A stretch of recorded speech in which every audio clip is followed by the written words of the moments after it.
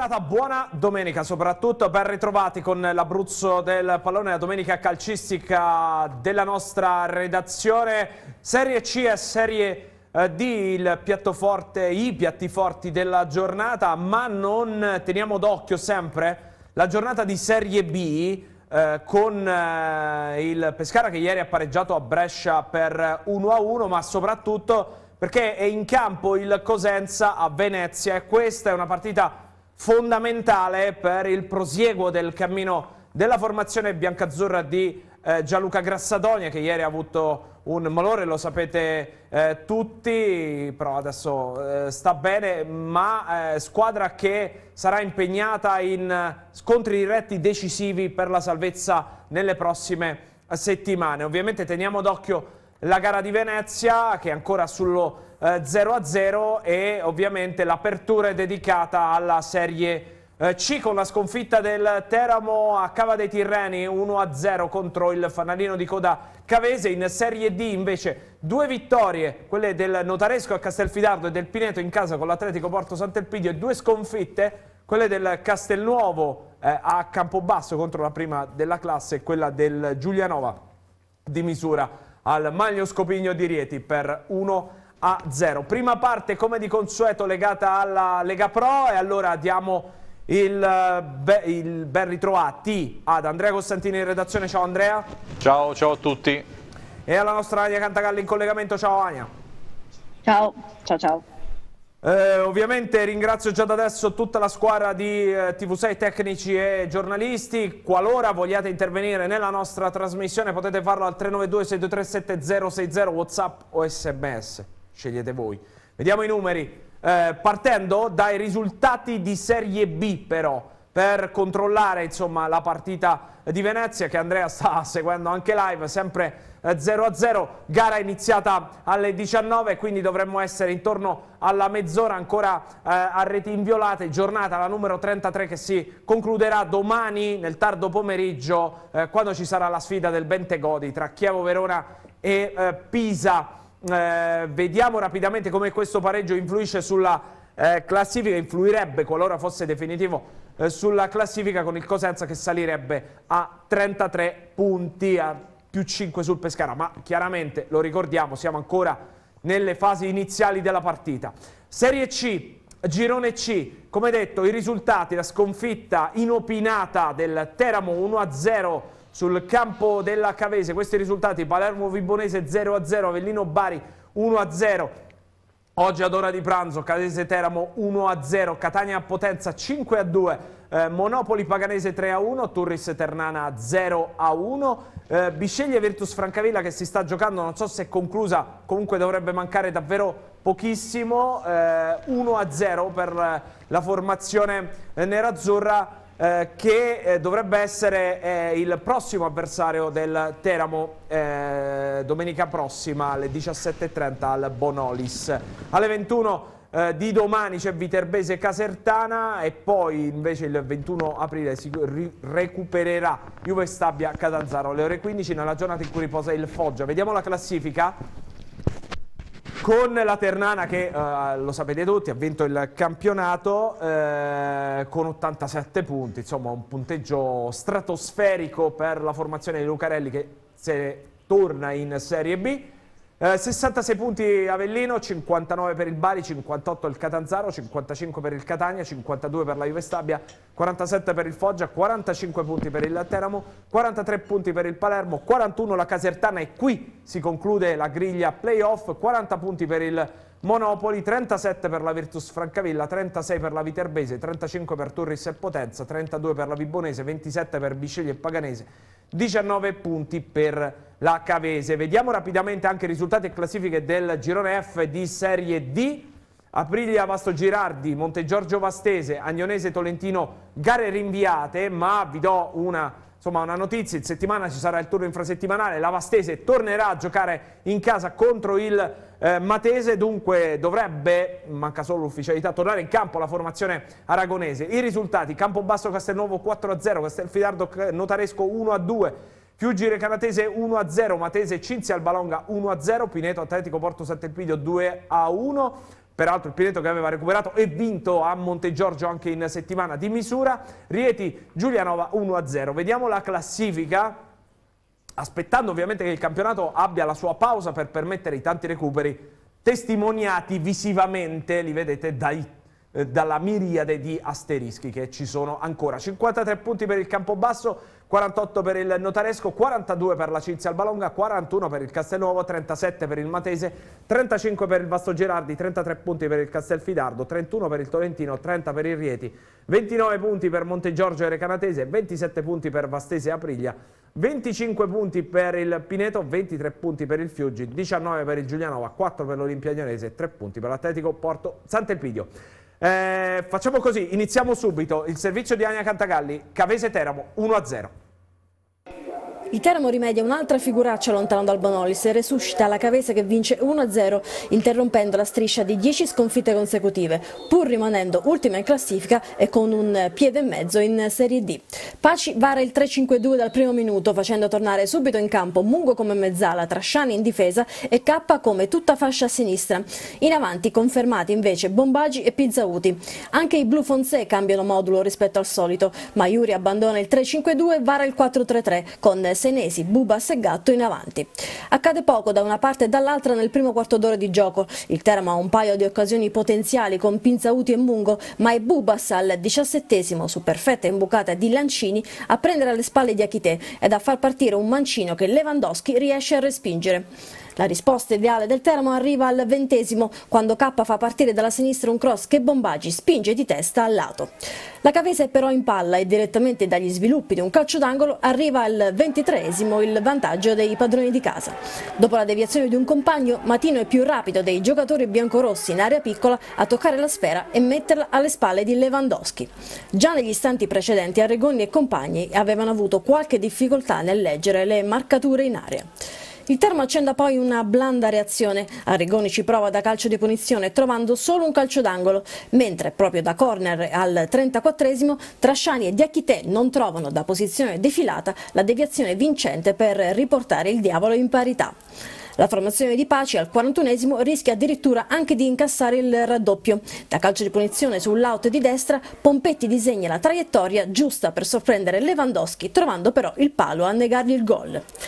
Ad inizio ripresa Paci fa retromarcia vedendo un Teramo in difficoltà. Il tecnico manda in campo Chiere Matenghe e Vittorini per Pinzauti e Trasciani e torna così alla retroguardia 4 ed al consueto 4-4-2.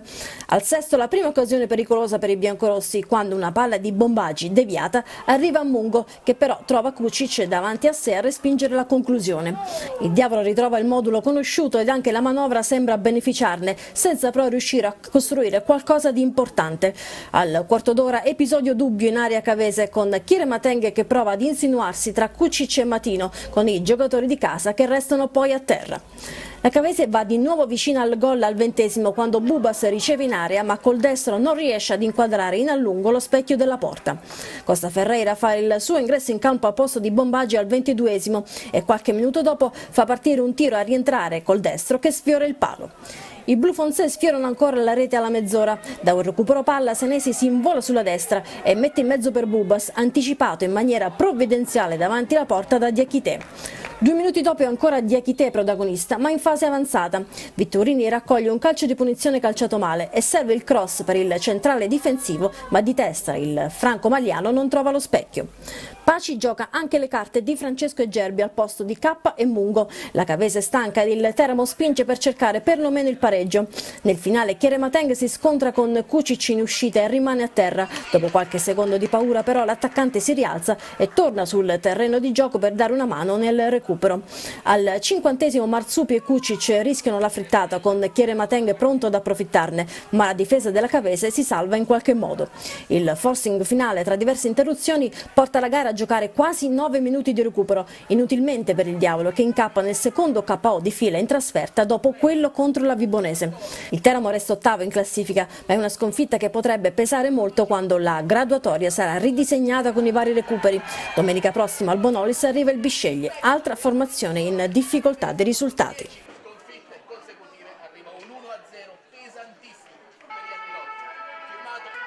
Oh, è finale a Bisceglie 1-0 per la formazione pugliese sull'altra pugliese, la Virtus Francavilla. Eh, Ania, dicevi nel servizio, sconfitta che peserà. Peserà quanto, secondo te, da qui alla fine del campionato? Anche perché adesso, lo ricordiamo, nelle ultime 5 partite sono 4 sconfitte e un successo contro la Turris. Potrebbe pesare tanto, bisognerà vedere cosa farà il Monopoli anche che ha due gare da, da recuperare che attualmente è alle spalle del, del Termo all'undicesimo posto, però appunto ha ancora due partite da, da recuperare, Foggia e Palermo, soprattutto il Palermo che è immediatamente alle spalle ha una gara ancora da recuperare, se non erro proprio contro il, eh, contro il Foggia, la Casertana giocherà domani, quindi è un po' una situazione in evoluzione. E più che ha un'altra partita, se non erro, anche da recuperare, che vedo che ne ha 31. Ok, quindi a maggior ragione è una situazione in, in evoluzione, quindi Teramo dovrà cercare in queste ultime tre gare di, di, campionato di fare più punti possibile, che può sembrare una esternazione abbastanza banale, ma insomma è quello che avrebbe dovuto fare il, il Teramo già eh, da quando è iniziato, insomma, dopo la vittoria contro il Catania, questa fase, questo ciclo di, eh, di gare un po' più abbordabili, però esattamente come nel girone di andata nulla è cambiato perché anzi forse per certi versi anche, eh, è anche, sta anche andando, andando peggio eh, perché le stesse difficoltà contro questa formazione che ha incontrato il Teramo nel girone di andata le sta trovando adesso, ovvero in un girone, alla fine comunque in un, quasi in un campionato, eh, la formazione di pace non è riuscita a trovare eh, le, la via d'uscita al fatto di non saper eh, scardinare le squadre che si sanno chiudere bene dietro, quindi è un, è un, gran, un grande difetto, un grandissimo difetto che si, si eh, può giustificare parzialmente con l'assenza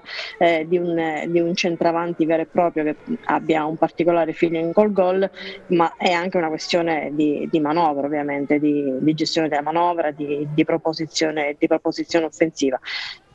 A parte questo, a parte questioni tecnico-tattiche, direi che comunque è, il, è, lo spirito che quest'oggi è mancato, quello che c'è stato domenica scorsa dopo magari essere stati eh, pungolati da esternazioni mh, esterne rispetto alla squadra, ovvero dal, eh, dal, dal, presidente, quelle motivazioni si sono oggi un po' eh, eh sono, sono, di nuovo evaporate e sostanzialmente il Teramo non è mai riuscito ad essere davvero pericoloso dalle parti di Pucic, quindi eh, una prova scialba davvero brutta eh, che non fa ben sperare per le ultime tre gare di campionato. Oh, io su questo messaggio che giro ad Andrea, eh, lo leggevo mentre Ania te finivi il concetto, eh, fino ad un certo punto, fino a quando dice sbaglio, poi sono considerazioni ovviamente molto più forti e che, mh, mm, non, su cui non entriamo, però fino a quando dice se un mister dice che la squadra soffre quando gli avversari si chiudono e questo avviene dall'inizio della stagione ed è quello che ho provato a chiederle oggi pomeriggio in conferenza stampa a Paci cioè, non dovrebbe essere lui a trovare le soluzioni perché questo non accada, Andrea? Eh, eh, sì, in teoria è proprio così, eh, però come ho detto l'altra volta, quando una squadra arriva alla 33esima, 34esima, 32esima giornata, la squadra è questa. Cioè, ormai quello che si doveva fare lo si è fatto, ormai il prodotto è finito. Ecco perché purtroppo da questo punto di vista ormai non c'è più modo di vedere una ulteriore evoluzione e se la chiave di volta non, non la si è trovata nel corso di un'intera stagione è difficile che la si trovi in, eh, quando mancano tre partite alla fine della stagione regolare. Poi intanto ha segnato il Venezia mi pare eh, contro il Questa è un'ottima notizia per il Pescara. Sì, eh, detto, detto, questo eh, a me sembra che la partita di oggi abbia ricalcato buona parte delle ultime gare. C'è stata una reazione emotiva contro la Turris, una gara che comunque si, si stava per chiudere per un con un pareggio, poi Teramo ha avuto quel sussulto proprio alla fine, per oggi abbiamo rivisto una squadra esanime, tu eh, oggi hai usato l'espressione una squadra che vivacchia. Sì, squadra... ne sono profondamente convinto, è una squadra è che così. vivacchia e che sta aspettando la fine è, del campionato. È così, me. ma altrimenti non si spiega perché l'allenatore sia portato a 20 minuti della fine con la squadra sotto a togliere Bombaggi che è uno dei migliori realizzatori della squadra. Dopo aver tolto anche Pinzauti che è l'unico centravanti che ha il Teramo. Quindi a, me sembra che da un lato ci siano idee confuse e dall'altra c'è una squadra che ormai non ha più grandi stimoli e come hai detto tu vivacchia. Ne è venuta fuori una prova eh, bruttissima, quella di Cava dei Tirreni, eh, già la squadra quindi si è presentata senza avere grande mordente, ci si aggiunga le, le scelte dell'allenatore che sono state scelte confusionarie perché cambi modulo per affrontare l'ultima squadra del campionato che eh, eh, viene da una serie impressionante di, di sconfitte, peraltro la vittoria del Bisceglie ha, ha vanificato la, la, vittoria della Cavese perché ora se guardiamo la classifica eh, semmai la Cavese poteva sperare di raggiungere il Bisceglie, ora è a meno 8 con con 9 punti a disposizione e più la Cavese deve cercare ora di rimontare una parte del gap dalla Vibonese, da 13 punti che sono dovrebbe scendere a, a 8, quindi dovrebbe recuperare 5 punti su 9. Insomma la Cavese è, è una squadra sostanzialmente retrocessa per andare a giocare a Cava di Tirreni cambi modulo, ti metti 3-5-2 quando Paci era molto fissato sul restare con la difesa a 4, avere certi meccanismi da, da preservare. Dopo un tempo ritorni al 4-4-2 togliendo però il centravanti. Eh, insomma delle scelte che si fa fatica a, davvero a comprendere e, e, ne è venuta fuori una, una prova nella quale il Teramo non ha avuto che mezza palla gol e, e francamente anche, anche, volendo capire che il Teramo ha delle difficoltà contro squadre di bassa classifica ma anche di rabbia qualcosa tiri fuori. Il Teramo oggi non ha cavato fuori nulla. E questo è un dato che eh, dovrebbe far riflettere ma io penso che le riflessioni debbono essere già fatte, come le abbiamo fatte noi da questa parte, le deve aver fatte anche la società, le deve aver fatte anche Paci, perché ripeto, il prodotto è finito, questa squadra non si può più migliorare perché si sono giocate 33 partite e ormai quello che si doveva fare lo si è fatto. Assolutamente sì. Eh, tanto mm, questo messaggio che vediamo non è il primo eh, telespettatore da casa tifoso che si augura di non farle addirittura eh, i playoff eh, perché dice ci risparmiamo brutte figure. Io, siccome il playoff lo dico, ma, ma perché insomma eh, a scanso di equivoci, il playoff è sempre un po' un terno all'otto, almeno nei, nei, primi turni. Poi arrivare fino in fondo è durissima e lo sappiamo, eh. Però Mm, non, non, andarci, cioè Posso limitarsi a non farli, io non sono molto, molto, molto d'accordo, perché poi, sai, arrivi anche fuori casa, magari puoi trovare il pomeriggio, la serata giusta, non è mai detto, eh, cioè, mh, mm, eh, condannarsi a non farli... Il tifoso eh. dice a questo punto meglio non farli. Sarebbe interessante sapere cosa pensano nel loro intimo, al di là di quello che direbbero, i giocatori del Teramo. Eh sì, eh, intanto vi faccio sentire l'allenatore del Teramo, Massimo Paci, conferenza stampa post gara, prima ci avevano scritto da casa, non sa più a che santo votarsi, vediamo e poi traiamo le nostre conclusioni. Spiegarla è anche semplice, noi abbiamo, abbiamo approcciato bene la partita nel primo tempo, poi probabilmente nel, in, nella prima occasione eh, se non erro, nell'occasione del calcio d'angolo abbiamo subito gol, un gol che onestamente quando subisci gol in queste partite poi è, è, difficile perché poi la squadra avversaria si riversa tutta nella propria metà campo per tutta la partita. E è stato, è stato un po' quello il fatto che ci ha penalizzato, aver preso quel gol in un'occasione sporadica, non l'abbiamo subito perché stavamo subendo l'avversario ma, ma su una palla inattiva e da lì si, compl- si sono complicate le cose perché questa squadra nella sua storia fa fatica ad incontrare squadre chiuse, ma, ma, noi come squadra delimitiamo dei limiti quando dobbiamo giocare su questi campi, parlo proprio di terreni, terreno di gioco che non, che non permette un, un, gioco. E quando troviamo squadre chiuse, completamente chiuse, ci è andata male, si è stati sfortunati a subire quel gol altrimenti magari saremmo riusciti a fare un'altra partita, credo, eh? anche nelle difficoltà, ma quando trovi 10 giocatori davanti all'area di rigore è difficile, è difficile provare ad impensierirli. Noi come squadra quest'anno il Teramo è, è una continua sofferenza, è una continua sofferenza riuscire a vincere, riuscire a far gol, è la nostra storia, ma non è una giustificazione, ma non è neanche una cosa pessima perché siamo sempre riusciti comunque a, a mantenere equilibrata la classifica, a mantenere un certo stile di gioco, perché noi non siamo quella squadra che, che, che, che difende in 10 davanti alla propria porta e butta via i palloni. Io onestamente preferisco vedere una squadra così che ci prova, anche se ha fatica a finalizzare, è vero, però preferisco vedere una squadra così che ci prova in tutte le maniere anziché vedere una squadra che non vuole giocare, che ha come strategia quella di, di mettersi là dietro in 10 e, e, non giocare. Quindi sono contento della nostra squadra, non sono contento di questo risultato, non sono contento delle sconfitte.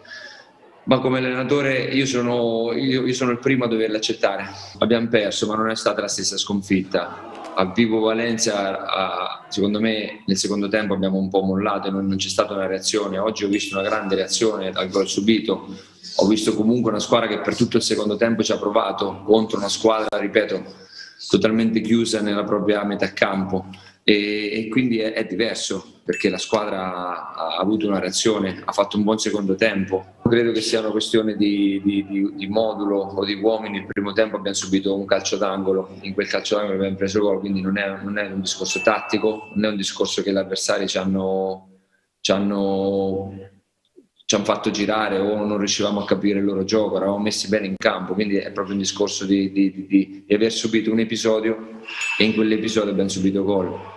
Le scelte sono state dettate dal fatto che, eh, dal fatto che l'ultima volta che abbiamo cambiato la difesa a 4 è andata male e quindi cambiare, spostare dei giocatori nella difesa a 4 poteva essere pericoloso. Abbiamo giocato a 3, ma detto questo il primo tempo non abbiamo subito niente dal punto di vista offensivo da parte degli avversari, quindi Dopo il secondo tempo ho ricambiato perché eh, per andare a vincere la partita abbiamo provato a giocare con le quattro punte.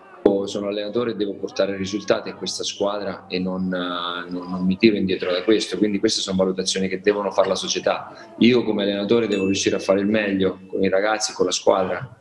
Eh, si tratta di competere, si tratta di non, di non, dire io mi impegno al massimo, ma, ma a vincere le partite, quindi questo è un discorso che spetta alla società eh, da parte mia rimango molto sereno perché so la difficoltà di questo campionato e so la difficoltà noi come squadra di, di, affrontare questo tipo di partite. Io credo che questa squadra per adesso sia stata abbia, abbia dato veramente tanto in questo campionato nel, nelle difficoltà.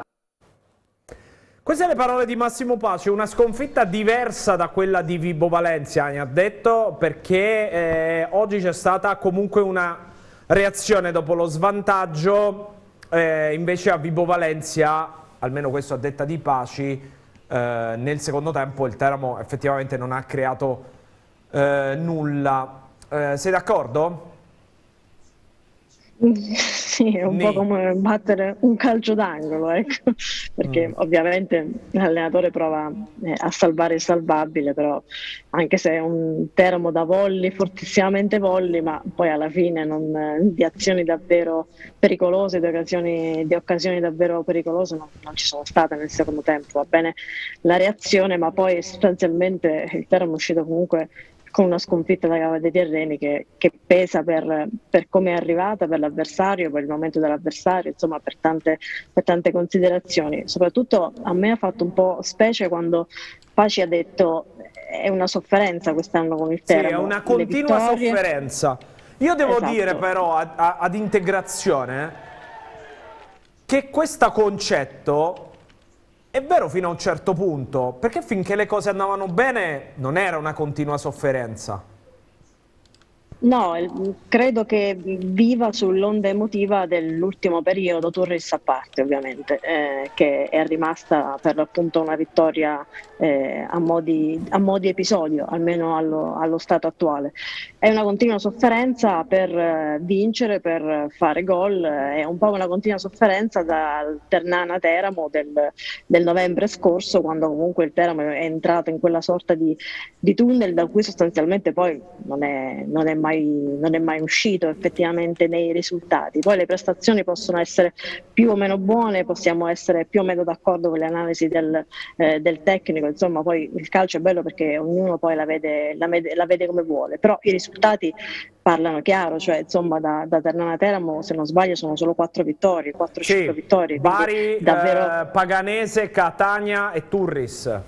Oh, esatto, quindi quattro vittorie insomma sono, sono, un po' poche, un bottino un po', un po', misero a fronte di quelle prime dieci gare di campionato in cui il Teramo aveva fatto davvero, davvero faville, aveva messo in mostra qualcosa che poi non è più tornato per tante cose che abbiamo sempre detto, eh, la gestione fuori dal campo, la gestione in campo, perché sicuramente non pesa soltanto quello che è successo fuori, ma anche magari anche qualcosa che è successo tra lo staff tecnico della squadra, giocatori stessi, giocatori a scadenza, insomma sono tante poi le dinamiche che vanno, eh, che vanno a influire. E quindi questo sentimento del, della continua sofferenza rischia di trascinarsi anche per le ultime tre gare di campionato della stagione regolare e può mm. essere davvero un'ulteriore sofferenza, insomma, che il Teramo non deve vivere. Eh sì, assolutamente sì. Oh, peraltro vi faccio notare una cosa. Sapete l'anno scorso come finì Cavese Teramo? Sì, sì. Sì, 1-0. e sapete chi, segnò, chi segnò l'anno scorso? Un mattino Lo stesso. Matino. Solo che non si giocava a Cava dei Tirreni, si giocava perché il Simoletta Lamberti era indisponibile, si giocava a Castellammare di Stabia, eh, non, di, eh, non, di, piede come oggi, ma di testa, lo vediamo, eh, un, la porta è sempre quella sulla destra, guardando ovviamente rispetto all'inquadratura, c'era Tomei in porta e Matino di testa aveva punito il Teramo con una Um, Cavese che anche l'anno scorso faceva fatica, certo, niente a che vedere con questa stagione dove di fatto, come ha detto anche Andrea, di fatto stiamo parlando di una squadra pre-retrocessa, però è curioso il fatto che insomma non è che abbia segnato due gol il centravanti, non l'avremmo neanche tirata fuori come ricorrenza, avesse segnato due gol un centravanti in due anni di fila, no, però insomma se segni un centrale difensivo due volte, due anni di, consecutivamente e il Teramo perde contro la Cavese 1-0, insomma. Oh Andrea, questa squadra, questa squadra ha fatto 19 punti, 4 con il Teramo tra andata e ritorno. Sì, sì, eh, evidentemente porta, porta bene porta bene lo sconto diretto, ma poi c'è il resto del campionato che ha detto che la Cavese è una squadra decisamente la, la, meno forte, anzi la più debole del, del campionato. Eh, quindi eh, chiedo scusa perché ho perso un attimo il, il ah, hai perso, hai perso, il microfono. Ecco, sì, no, eh, dicevo, eh, poi il, eh, ha fatto 4 punti, col Teramo, poi però il resto del campionato ha detto che questa eh, eh, squadra è la più, è la più debole eh, del, del, torneo. Però eh, torniamo insomma al, al, discorso fatto in, in precedenza, eh, c'è quasi la sensazione che io vado oltre la provocazione no, che, ho, che, ho, fatto in precedenza, eh, non vorrei che anche i calciatori desiderassero che questa stagione eh, finisse al, al, più presto. Prima ci hanno scritto Andrea proprio eh, in risposta a quello che avevi detto te, ai calciatori non interessa niente di fare i playoff, ovviamente giudizio da casa, eh. eccolo qua, non gliene frega nulla ai giocatori, a chiacchiere siamo imbattibili, poi il campo per fortuna non mente, ma poi chi segna i playoff se manco arrivi a tirare, meglio non farli. Sì, ma, ma ripeto, c'è modo e modo di fare i playoff, il Teramo non ci sta arrivando bene. Poi dopo i playoff, eh, soprattutto nei primi turni, sono partite secche eh, dove c'è anche un po' eh, l'imponderabile, si può cavalcare tutto. Certamente, ripeto, eh, questa squadra non dà l'impressione eh, di arrivare a questi playoff nella maniera migliore, ci arriva in maniera stanca, ci arriva d'inerzia, ci arriva vivacchiando, quindi nel peggior modo possibile. Eh, giocatori che non sembrano affatto motivati, eh, la maggior parte di loro sono a scadenza, pochissimi hanno il contratto per, per, il prossimo anno, forse a nessuno di loro è stato fatto un discorso eh, serio sul, sul, futuro, qualcuno potrebbe dire però dovrebbero meritarsi anche la conferma, dimostrando sul campo eh, di, di valere, di meritare una conferma. E però poi ognuno, se ognuno resta dalla, dalla, sua parte il risultato è che non si gioca più per un obiettivo comune, non si ha più lo spirito che si aveva all'inizio del campionato e quindi poi le prestazioni sono quelle scadenti che abbiamo visto oggi, abbiamo visto a Vibo e in tante altre circostanze negli ultimi 3-4 mesi. Oh ragazzi, visto che siamo in chiusura di questa prima parte, poi apriamo la pagina di Serie D, vi giro una considerazione proprio della conferenza stampa di Paci che ha detto Oggi è troppo facile sparare sulla Croce Rossa, io ringrazio eh, chi sceglierà di starci vicino. Eh, come la vedete questa, Ania e poi Andrea, come la vedete questa, questa non ridere. No, perché quando mi ricordo questo passaggio che tu dici, eh, te lo ricordi? E quando l'ha detto mi sono ricordata dei Pipo Valencia della conferenza, adesso dobbiamo stare tutti uniti e poi sono arrivate le parole del presidente Iachini, quindi mi è sembrata una sorta di... di ah, tu dici, cioè... già pensava a quello che verrà. Esatto, esatto, eh, sì. come una sorta di, di, mettere un po' le mani, le mani avanti tra, eh, tra virgolette, ecco. no, però mi ricordo, mi ricordo questo passaggio e ho pensato, siamo un po' come un paio di settimane fa, una sorta di chiamata alle armi, ma per quanto riguarda la compattezza no, di, di, squadra, dello stare uniti, del cercare di fare scudo insomma, e di proteggere eh, la squadra in queste, in queste, ultime gare dopo questa ennesima, eh, dopo questa ennesima eh, sconfitta. Quindi ho, ho pensato questa cosa qui però se è vero che insomma mi ricordo la vigilia anche Paci che ha detto che comunque il Teramo è una squadra è una società unita, un gruppo unito il presidente è stato sempre vicino eh, c'è compattezza, c'è unione di intenti tra le varie componenti quindi credo che insomma non, non, non ci saranno grandi, grandi, grandi cose dopo questa, eh, dopo questa, sconfitta. Si andrà alla fine, si andrà alla fine del campionato, poi ognuno tirerà, tirerà le somme di, di quello che sarà. Andrea, cosa, cosa cioè, eh, allora, mm, io voglio chiarire la domanda, altrimenti sembra solo una stupida considerazione quella mia. Eh, la sensazione è che probabilmente eh, eh, Paci se dice una cosa del genere evidentemente cerca una sponda in qualche eh, antro del, eh, de della città, in un qualche aspetto della città, guarda, perché continua a ripeterlo. Riguarda, no, ma secondo me la situazione è molto semplice da, da, inquadrare. Io penso che un tifoso del Teramo, il tifoso medio, sia molto arrabbiato per queste ultime prove e soprattutto per aver perso oggi sul campo di una squadra così debole, che tu guardi la classifica, poi succede, può pure succedere. Oggi sentivo in conferenza stampa, veniva citata la partita Juventus-Benevento, può succedere, peraltro il Benevento non ha la classifica in Serie A che ha la Cavese in Serie C, eh, pure questo insomma eh, voglio dire, ma eh, può, anche, può, anche, succedere. Il problema è che questa partita eh, va a coronamento di un certo tipo di periodo molto lungo, quindi il tifoso medio è arrabbiato, qualcuno che eh, potrebbe non criticare la prova di oggi, ma penso sono pochissimi, eh, qualcuno eh, può essere quello che dice ok, noi più di questo non potevamo fare, la squadra si è già ampiamente salvata da tempo, i playoff chi se ne importa anche come ci arriviamo, come non ci arriviamo, eh, guardiamo con serenità il fatto che ci siamo salvati in ampio anticipo e si fa scendere giù eh, prove come quella di oggi come mh, mm, quella di Vibo Valencia, ma se no il tifoso medio non può che essere arrabbiato, cioè, Paci penso che questa cosa da uomo di calcio eh, la sappia, magari si aspetta che chi sta intorno a lui in, in società, nella dirigenza, eh, non abbia delle uscite che chiaramente possono suscitare imbarazzo anche, eh, anche in lui e nel, e nel gruppo può essere però anche un incentivo a fare bene perché ad esempio dopo la sfuriata del Presidente è arrivata la vittoria con, con, la Turris ma io penso che si rivolga più a una questione interna perché il tifoso come fa a non essere arrabbiato dopo una prova come quella sì, di oggi? No, Parliamoci certo. chiaro. Certo, assolutamente. Oh, eh, ragazzi io sto, sto, per salutare Ania, eh, Andrea Torresti con noi. Però ripensavo eh, settimana scorsa avevamo fatto quella cosa della eh, al Dante D, quel, quel viaggio all'inferno e, e, il Teramo non era ancora, doveva giocare contro la Turis, adesso siamo oltre la Giudecca, cioè siamo arrivati proprio in fondo praticamente, stavo ripensando a quella cosa là, comunque poi vedremo che cosa ci inventeremo per martedì. Va ampliato. Io, io penso eh che sia invece ancora fermo la Giudecca. Eh sì, grazie Aria, ci vediamo martedì alle grazie 21 per Proteramo. Grazie, Andrea resta con noi, noi ci fermiamo per la pubblicità, tra poco Serie D. Seconda parte dell'Abruzzo del pallone, apriamo l'ampia pagina dedicata alla Serie D. Buona serata a Roberta Di Santi. Ciao Roberta. Ciao Jacopo, buonasera a tutti. Ben rivista e in piattaforma eh, do il ben ritrovato a Fabio Montani. Ciao mister.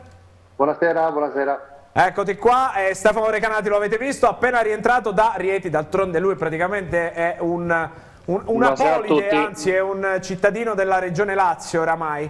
Ehm, però Partiamo subito dalla vetta e non con il Campobasso, ovviamente la vetta che riguarda noi, quindi la seconda posizione. Partiamo da Castelfidardo, Castelfidardo Notaresco 1 a 2, il servizio di Paolo Renzetti. Seppur informazione rimaneggiata per le assenze degli infortunati Colombatti, Marcelli e Bianciardi e degli squalificati Gallo e Banegas, il notaresco espugna con pieno merito il Mancini di Castelfidardo per 2-1, restando in scia della capolista Campobasso in attesa del derby di mercoledì con il Castelnuovo. Parte forte la squadra rossoblù visto che al primo minuto c'è un salvataggio della difesa biancoverde con Sant'Angelo su Marchionni piazzato quasi al vertice dell'area piccola. Al sesto ancora notaresco con Marchionni che mira l'incrocio e con la palla che esce di un soffio. Al settimo però la squadra di casa sblocca il risultato con Perpe Pai che su cross dalla destra in area anticipa tutti e mette la palla alle spalle dell'incolpevole Shiba. Abruzzesi subito sotto e costretti così a rincorrere in una gara complicata. Al diciassettesimo ci prova Palumbo che calcia di potenza, mancando di pochissimo il bersaglio grosso. Al ventitresimo però il pareggio del Notaresco è cosa fatta con Marchionni che di testa su cross di Palumbo non sbaglia per l'1-1 della squadra di Massimo Epifani. Parità al Galileo Mancini con gli ospiti che ci credono e che al ventisettesimo mettono la freccia, trovando il 2-1 con Dos Santos che nella più classica delle azioni di contropiede, servito da Palumbo a porta vuota, in sacca, colpo sicuro. La gara resta godibile con i padroni di casa che impiegano qualche minuto per reagire agire sfiorando il 2-2 al 34 con Puca che di testa fa terminare la palla di poco sopra la traversa e questa l'ultima emozione del primo tempo che si chiude sul 2-1 in favore della formazione abruzzese. Nella ripresa al quinto minuto punizione locale con Didio che calcia però centralmente fra le braccia di Sciba, al decimo gridano al gol i locali ma il tiro di Mataloni fa finire il pallone al lato di un nulla. Match combattuto ma con meno emozioni rispetto al primo tempo, al 25 triplo cambio nel notaresco con l'esordio dell'ultimo arrivato a quadro, in campo anche Olcese e Bana e fuori Dos Santos, Marchionni e Cancelli, in campo si lotta senza esclusione di colpi con il match che resta in bilico, al 91esimo sembra fatta per il 3-1 ospite con il neoentrato a quadro che trova una deviazione miracolosa di David, negli ultimi 7 minuti di recupero si soffre in casa rosso-blu con la formazione del presidente Di Giovanni che però non rischia più nulla portando a casa tre punti d'oro per non perdere contatto dalla vetta. Epifani una vittoria importante, meritata su un campo non facile come quello di Castelfidardo, eh, si è lottato fino al novantesimo, però Notaresco alla fine è riuscito a far valere la maggiore tecnica della sua squadra.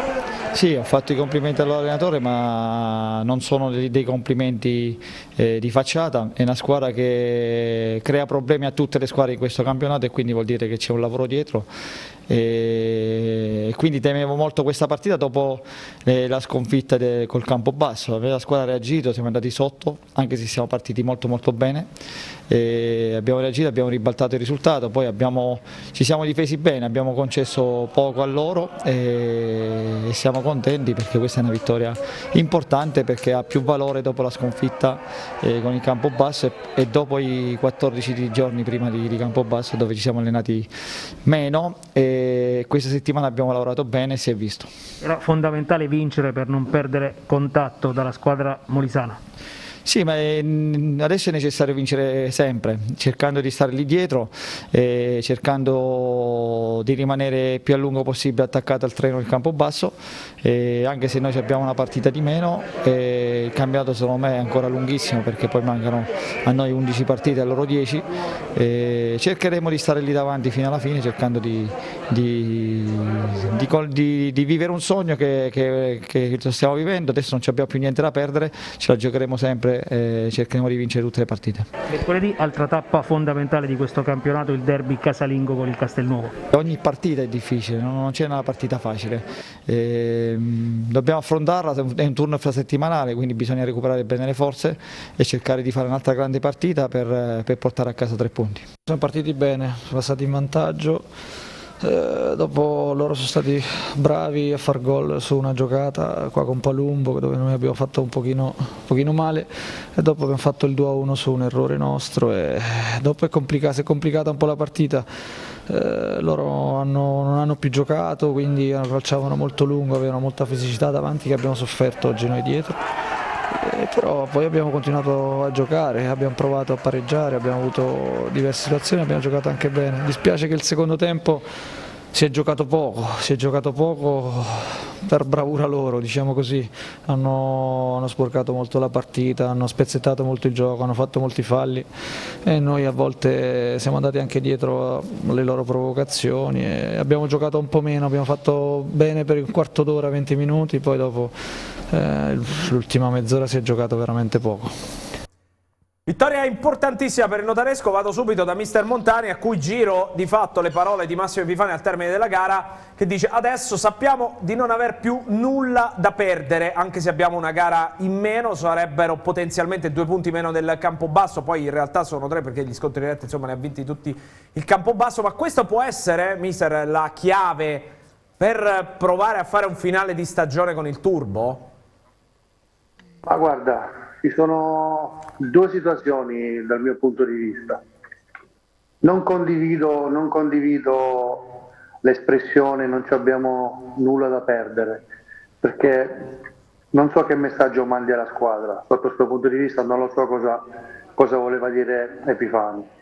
Mentre invece condivido l'osservazione che ha fatto lui a fine partita, che secondo me e rialzarsi dopo la sconfitta un, nello scontro diretto, importantissimo per entrambe le squadre, era importante oggi. E contro una squadra tosta, un campo tosto, una squadra che gioca anche molto bene.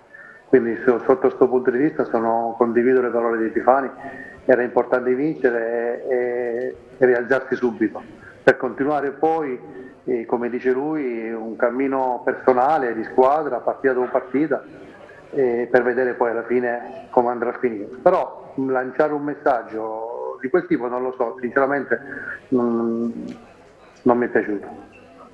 Eh, senti, ti chiedo da, da, da allenatore, eh, giochi lo scontro diretto, eh, lo perdi meritatamente, perdi all'inizio della gara un uomo fondamentale come Bianciardi a cui rinnoviamo gli auguri di pronta guarigione, passano dieci giorni, vai a Castelfidardo e vai subito sotto, insomma qualcosa passa nella testa dell'allenatore, dei giocatori, che cosa passa?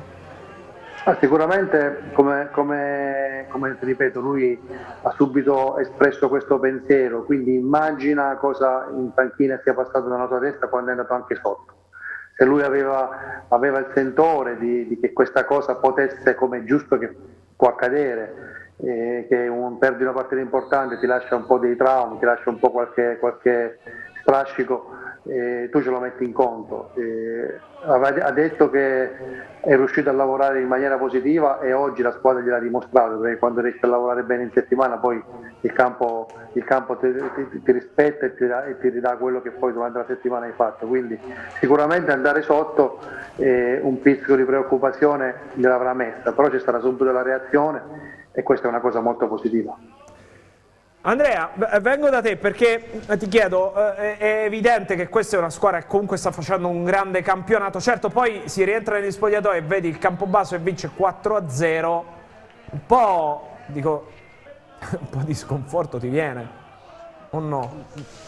Guarda, eh, francamente eh, io penso questo che eh, virtualmente ci sono due punti di differenza tra le due squadre, quindi il campionato è ancora lungo perché siamo alla 25esima giornata, bisogna arrivare alla 34esima, ma il Notaresco deve eh, deve recuperare, ehm, io se, se, considero che una partita è vinta, quella col Monte Giorgio e ci sono due punti di distanza, entrambe le squadre poi devono recuperare un'altra eh, partita e poi ci sono tutte le altre eh, per arrivare fino alla fine. Insomma ci sono tantissimi punti a disposizione, se il, ripeto se il Notaresco batte il Monte Giorgio nel recupero si mette a meno due, quindi è, è un testa a testa, certo non c'è modo di abbattersi, intanto ogni volta che parlo segni il Venezia Venezia 2-0, sì, rete di Cernigoi.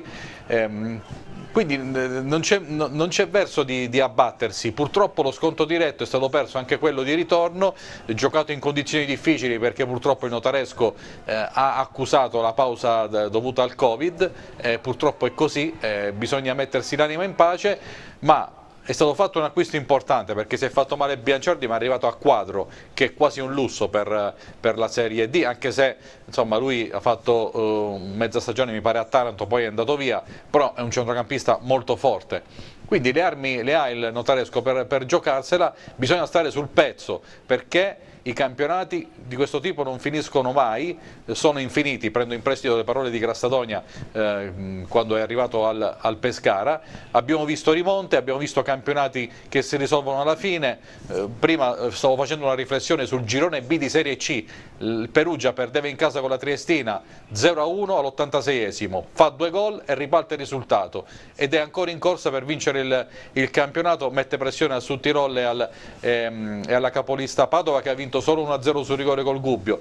Cioè, poi eh, subentrano delle componenti quando si va avanti nel campionato, componenti psicologiche, la paura di, di, di, di vincere anche da parte di chi è in testa, per cui bisogna crederci. Notaresco ha la ferita dello scorso anno e questa ferita deve essere una motivazione per stare sul pezzo fino alla fine.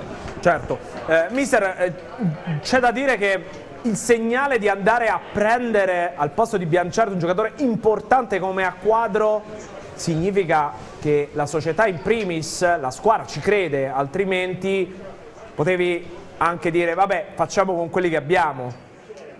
Ma eh, sarebbe follia pura perché eh, che il Notaresco sia partito per poter vincere il campionato non credo che sia, sia una bestemmia, è la realtà, sono davanti meritatamente e aggiungo, come ha detto anche Andrea prima, eh, proprio in virtù di, quella, di quell'affermazione di Pifani, è come voler togliere un po' di peso, un po' di responsabilità ai suoi giocatori. Secondo me non va bene perché i giocatori che ha il tedesco sono giocatori di primissima scelta che possono lottare col campobasso per vincere il campionato. Quindi eh, lanciare un messaggio del genere con, dicendo eh, la frase che ha detto Massimo e ricordami un attimino nell'intervista prima sua rilasciata, non ci abbiamo nulla da perdere, sì. è come togliere un po' di peso. Questi giocatori si devono prendere responsabilità, assolutamente. La società di nuovo ci ha messo la faccia andando a prendere un giocatore importante, quindi devono stare sul pezzo fino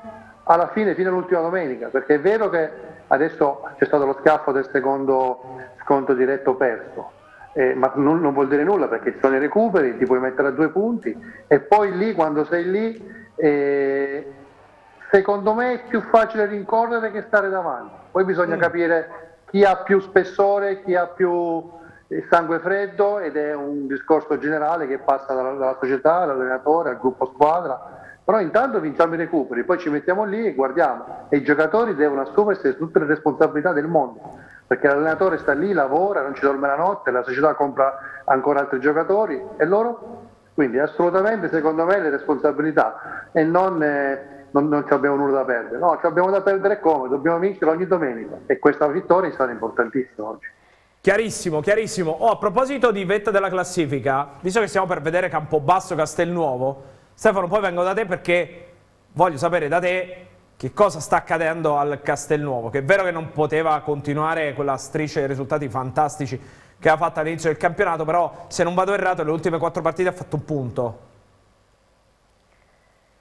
Sì, giusto, sì, un punto solo. Certo, oggi era la, la partita più complicata assolutamente da, da, sbrogliare. Facciamo così, ci andiamo a vedere il servizio Campobasso, Castelnuovo 4-0 e poi commentiamo.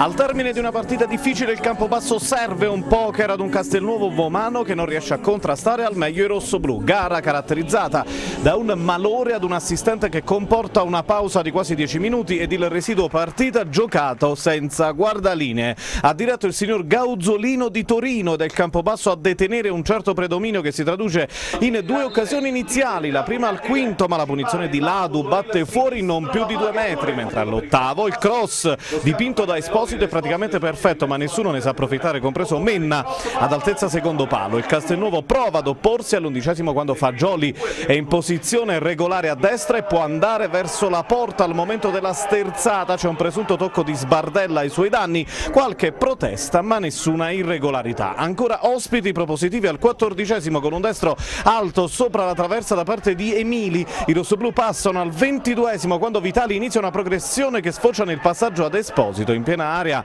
effettua un diagonale parato da Natale con il pallone che a seguire carambola sui piedi di Foglia e finisce in rete 1-0 per i rossoblù ed è un autogol, ma il gioco non riprende subito, anzi il direttore di gara si intrattiene a telefono a causa di un malore occorso al signor Bertozzi di Cesena. Questi è impossibilitato a proseguire la gara, così l'arbitro si ingegna per reperire un tesserato AIA in grado di coadiuvarlo. Dopo minuti di ricerche si decide di proseguire con due assistenti prestati dalle rispettive società. A causa dell'inconveniente si perdono circa 10 minuti. Alla ripresa delle ostilità intorno al 32esimo la fase sorride molto al Campobasso che tuttavia si mostra ancora abbastanza sprecone. Il tiro di Esposito termina di pochissimo al lato, dopo una deviazione siamo intorno al 32esimo e 30 secondi. Dall'angolo che ne nasce il colpo di testa di Menna finisce davvero di un soffio fuori. Al 33esimo è lo stesso Cogliati ad approfittare di un buco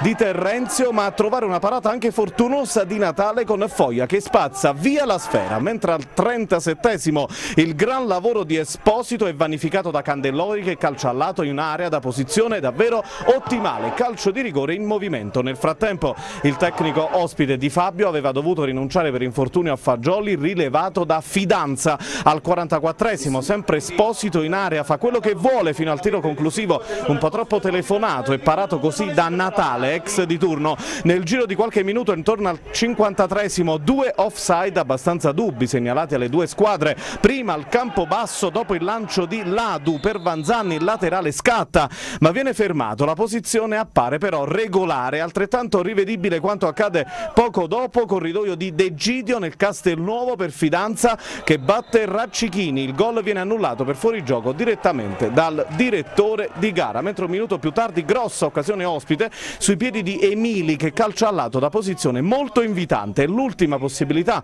di un primo tempo che il Campobasso avrebbe potuto condurre in maniera molto più consistente. Nella ripresa con le immagini di Francesco Di Rienzo siamo al quattordicesimo quando la punizione di Loviso è troppo distante per poter impensierire Raccichini, ancora il rossoblù un minuto dopo con il cross di Van Zan deviato al lato da Vitali senza altri tocchi avversari, mentre al quarto d'ora esatto palla gol sul destro di Fabriani su cui è buona l'opposizione di Natale. Al diciassettesimo ospiti insidiosi con Degidio che apparecchia il tiro lo effettua ma è la schiena di Bontà a salvare la porta di casa. Il bis dei locali al ventesimo quando in area abruzzese Cogliati trova ancora una parata da parte di Natale, l'azione prosegue con l'appoggio di Cogliati ad Esposito che è bravo a proteggersi dagli attacchi di Loviso e a battere Natale con un pallonetto imprendibile, rossoblù sul doppio vantaggio, anzi sul triplo dal venticinquesimo quando Esposito apre il compasso per Bontà che dal fondo chiama Natale alla parata ma non alla trattenuta, Cogliati è lì e deposita in rete il pallone del Tris, la partita è praticamente finita qui, Cudini qualche minuto dopo avvicenda lo stesso Esposito per far entrare Di Domenica Antonio. E al 31esimo slalom in piena area di rigore da parte di Vitali, fermato al momento del tiro da Foglia per l'arbitro e calcio di rigore. Dal dischetto tiro di Di Domenica Antonio intuito da Natale ma che vale il 4-0 per i rossoblù. Cudini fa entrare Martino al posto di Fabriani al 36esimo da Di Domenica Antonio a Cogliati che viene chiuso in calcio d'angolo nei locali triplo cambio dal 37esimo dentro Capuozzo, Mancini e Zammarchi al posto di Vanzan, Vitali e Candellori esauriti cinque campi da parte di Cudini. Finisce con la festa dei ragazzi di Cudini proiettati già a domenica contro la Vastese visto il rinvio del derby di mercoledì contro il Vasto Girardi. Era una partita in equilibrio, avevamo preso un gol su un'autorete, eh, però in campo tutte e due cercavamo di fare la partita, e abbiamo provato eh, anche noi di ribaltarla. È capitato che il primo tempo è abbastanza equilibrato, il secondo tempo siamo rientrati e stiamo facendo delle buone cose, abbiamo perso una palla a centrocampo, è venuto il 2-0 e dopo il 2-0 è stata è stata più difficile, però fino a quel momento la partita era in equilibrio, eh, avevamo anche pareggiato, adesso non so se il, il, gol era in fuorigioco o meno, eh, comunque è stata una partita anomala senza guardalinee, era cioè, se, se, il gol nostro era valido sicuramente eh, la partita avrebbe preso un'altra, un'altra piega, poi è normale se regali eh, qualcosa a questi signori qua eh, la paghi perché nelle sue file ha dei giocatori molto forti. Oh, gara assolutamente particolare e non per il, per il punteggio, ma per quanto è successo. Mi sa, era mai capitato una situazione del genere? Dover cercare con l'arbitro che deve cercare i due assistenti, un assistente poi in fondo non trova praticamente nessuno, due, che, due inservienti che fanno, fanno da guardaline. Sì, mi è capitato a Vasco, mm. un, l'assistente ha avuto un problema, mi sembra muscolare, e c'era, se non ricordo male, già in tribuna uno dell'AIA. Guarda, mi hai, mi hai, aperto un ricordo perché c'ero io a fare quella partita. è capitato, mi è capitato. È vero, hai, hai ragione, ma in quel, in quel, caso poi un allenatore, visto che abbiamo sentito Guido Di Fabio dire, insomma è stata certamente una partita anomala, un allenatore poi immagino che si fidi fino a un certo punto, abbiamo visto due chiamate un po' particolari, dai, un po'... Sì. Non puoi farti nulla, quindi, quindi, è inutile sprecare energie a pensare che potresti avere dei, dei danni o meno. Eh, quindi lasci stare, purtroppo non puoi fare differentemente, eh, cerchi di guardare, di curare le cose che devi fare, senza spendere energie nel stare a, a pensare cosa può combinare o meno. E se non ricordo male, in quella partita e quell'assistente di Vasto ci diede delle belle legnate, probabilmente per, per mettersi l'anima in pace. Eh, certo.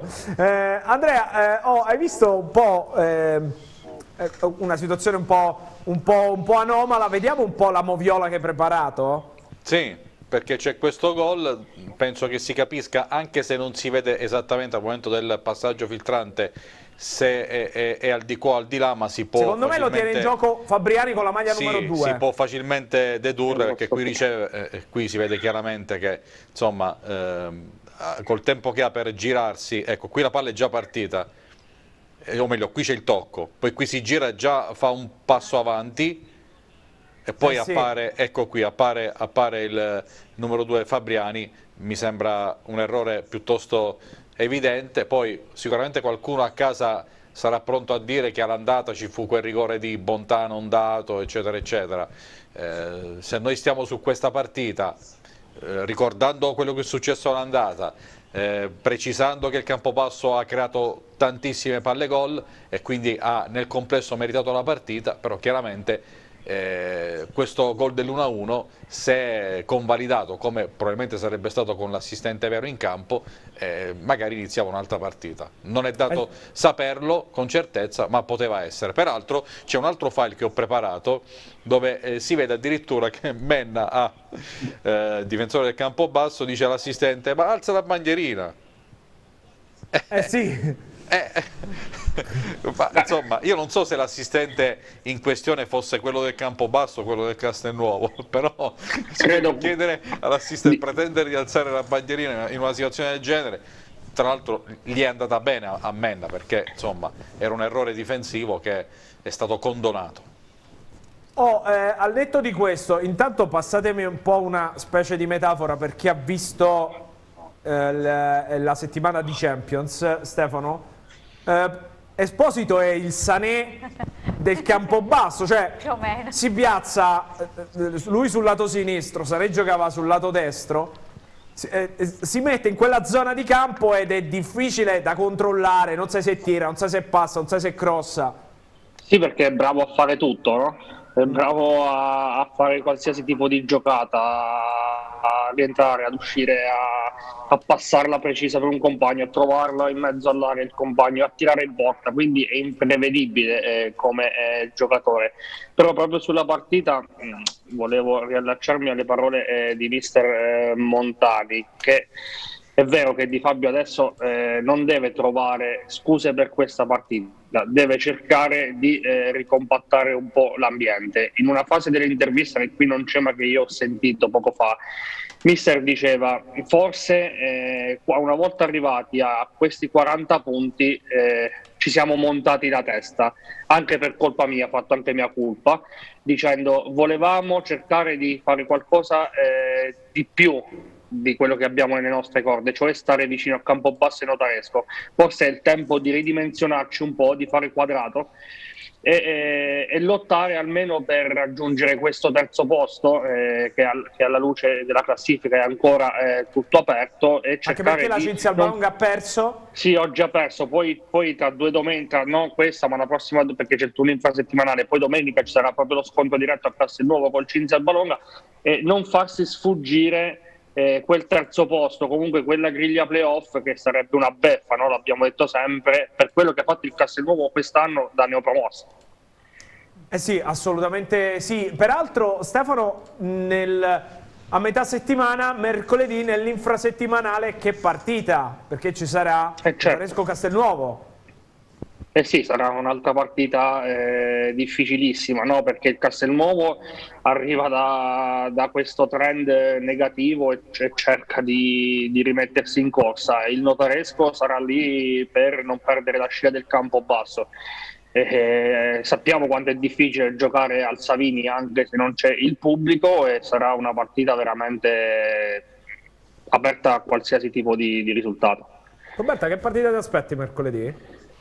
Eh, ma eh, come, dice, come, dice, Stefano, io penso che eh, non sarà facilissima come partita perché il notaresco giustamente ha comunque la pressione eh, di eh, cercare di eh, rimanere appunto incollato al campobasso e quindi di tenere questo, questo, trend perché vuoi non mm. vuoi, anche se Epifani cerca di buttare acqua, no? sì. però vuoi non vuoi comunque l'obiettivo c'è ed è giusto perseguirlo. Tra l'altro la vittoria di oggi secondo me è una vittoria eh, importantissima quella del, del, Notaresco a Castelfidardo. Sì. Ehm, e dall'altra parte scontata, assolutamente ma non per la forza del Notaresco che conosciamo benissimo perché abbiamo imparato a conoscere il Castelfidardo, quanto può fare male? Eh? Castelfidardo eh, fece vedere i sorci verdi al Pineto, io ci sono stata a, la, qualche, a Castelfidardo, a Castelfidardo sì, sì. e fu tra l'altro la partita che fece traboccare il, la goccia che fece traboccare il vaso con le dimissioni, che poi portò alle dimissioni di Amaulo. Sì. Eh, detto questo, per inciso, eh, dall'altra parte mi aspetto un Castelnuovo che ovviamente, eh, seppur viene da questo trend negativo, io mh, penso che, come diceva Stefano, debba un po' ricompattare e mi aspetto un Castelnuovo che eh, comunque è anche galvanizzato un po' da questo derby perché comunque si sente, insomma, Notaresco Castelnuovo siamo in linea d'aria proprio eh, vicinissimi certo. per cui si sente anche un po' questo eh, campanilismo seppur non ci sarà il pubblico però io penso che il Castelnuovo voglia fare bella figura a Notaresco e voglia anche scrollarsi un po' da questo trend negativo dal quale, dal quale viene eh, per cui mi aspetto una bella partita. Tra l'altro il, il, Pineto potrebbe fare... Eh, potrebbe dare una mano al Castelnuovo visto che deve giocare in terra laziale contro la Cinzia Albalonga. Contro la Cinzia Albalonga. Oh, eh, intanto vediamo la classifica perché giustamente da casa ci dicono potete indicare quante partite deve recuperare la Vastese che ha 20 partite quindi tecnicamente deve recuperare 5 però non escono gli asterischi perché perché vedete che c'è il meno 1 e purtroppo non siamo noi che mettiamo gli asterischi, chiediamo vegna, ma chi progetta... Allora, la progettazione di un software, io immagino, siccome non è un software progettato in era Covid, eh, non teneva conto del fatto che ci potessero essere 256.000 asterischi, quindi ne deve recuperare 5. Però noi ci fermiamo per la pubblicità, al rientro parliamo di Pineto e Giuliano. A tra poco. Di nuovo insieme con l'Abruzzo del pallone, come vedete dalle nostre luci, parliamo di Giulianova, ci spostiamo a Rieti. Fatemi vedere Stefano Recanati se è contento oggi di essere stato al Magno Scopigno invece che al Gudini dove hai preso secchiate d'acqua. oggi eri bello coperto, anche se non è andata bene, il Rieti batte di misura 1-0 il Giulianova. Dopo 196 giorni Rieti torna a giocare al centro d'Italia Manlio Scopigno e lo fa battendo per 1-0 un Real Giulianova che non ha saputo sfruttare alcune occasioni importanti. 3-5-2 a specchio per le due compagini. Battisti, allenatore della formazione Amaranto Celeste, perde Giannetti, così Orchi è costretto ad arretrare nel pacchetto difensivo. Tirelli è il vertice basso di centrocampo, in attacco la coppia d'Alessandro e Bari. Nel Giulianova Bitetto conferma la formazione che ha pareggiato contro il Pineto. Tocca ancora a Danna guidare la retroguardia giallorossa in avanti Paudice e Barlafante. Rientrano Demo Leone e Cipriani che partono dalla panchina. Prima parte di gara di marca Reatina che al diciannovesimo minuto protesta per un presunto fallo di mano all'interno dell'area di rigore giuliese, ma per Gasperotti di Rovereto si può proseguire tra le proteste molto accese di Orchi. Ancora pericolosi padroni di casa questa volta da calcio piazzato sempre con Orchi che con il destro a rientrare colpisce la parte alta della traversa. Il Giulianova vive un momento positivo intorno al trentesimo quando Massetti direttamente da calcio piazzato prova la conclusione in porta con il pallone deviato dalla barriera con la traiettoria che per poco non beffa Saglietti immobile tra i pali. Tre minuti più tardi ci prova anche Barlafante, bravo a crearsi lo spiraglio per la conclusione mancina che però finisce sul fondo. Il Real concede poco o nulla alle abruzzesi che però hanno sul finire di tempo le occasioni migliori per passare in vantaggio con Paudice.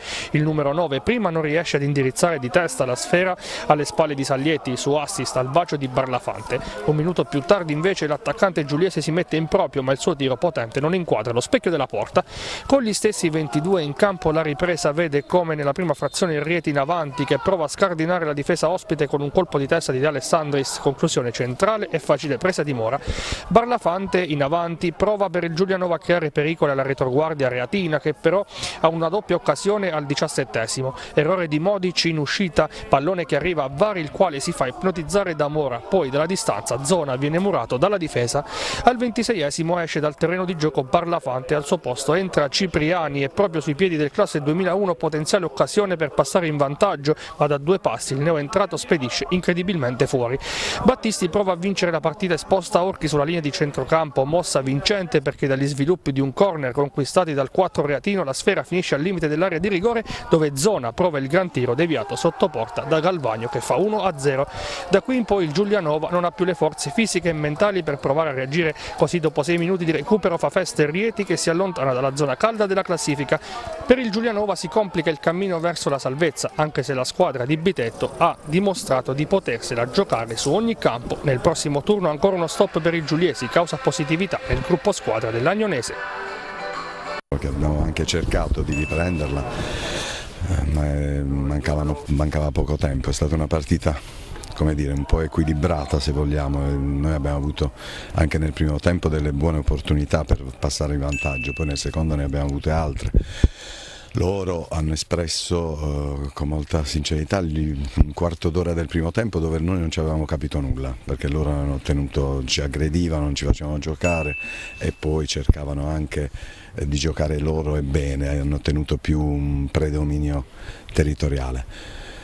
Però per noi è un peccato perché era una partita che si poteva, ecco, dove magari l'episodio, l'azione, una rete poteva, poteva capitare anche a noi e invece è capitata a loro, andiamo a casa sempre comunque pieni di rabbia e con una sconfitta immeritata. Non c'è stato l'approccio sbagliato, nella mia più assoluta. E anche il campo, il campo è un, campo, è un ottimo campo, erboso per carità. È vero che noi stiamo sempre sul sintetico, però sappiamo benissimo che, che, che poi quando si cambia superficie ti devi saper adattare e credo che anche ci siamo, ci siamo riusciti bene, tranne qualche, qualche passaggio semplice, sbagliato un po', un po', troppe volte, però ripeto, è stata una partita dove, dove le due squadre si sono, si sono espresse nella, con la possibilità di poter superare l'una all'altra. Una vittoria importante per i ragazzi a livello anche di testa, eh, venivano da, da tanti risultati negativi, quindi è una bella eh, botta di fiducia dai, per i ragazzi e sono contento perché hanno fatto comunque anche una buona, una buona prestazione. Avevate un po' di timore nel tornare a giocare qui dopo aver approntato la stagione direttamente lì al Cudino, un campo diverso, stretto, in sintetico, però l'avete approcciata bene, avete creato tante occasioni. Sì, no, ma timore no, forse perché... Eh c'era un, un, po' più di, di, paura perché le distanze sono diverse, eh, questo è un campo regolare e il, il Gudini è un po' stretto e quindi però ti porta anche dei vantaggi. Eh, perché se sfrutti bene l'ampiezza del campo potresti poi creare delle difficoltà agli avversari. Sono stati bravi a, a essere pazienti, avevo chiesto ai ragazzi di, di, stare, di avere quella pazienza eh, che in questo momento magari viene meno perché hai fretta di andare a, in avanti a far gol. E queste partite invece si affrontano secondo me con, eh, con pazienza e cercando di fare quello che poi durante la settimana andiamo a provare e i ragazzi gli devo fare i complimenti perché sono stati veramente bravi.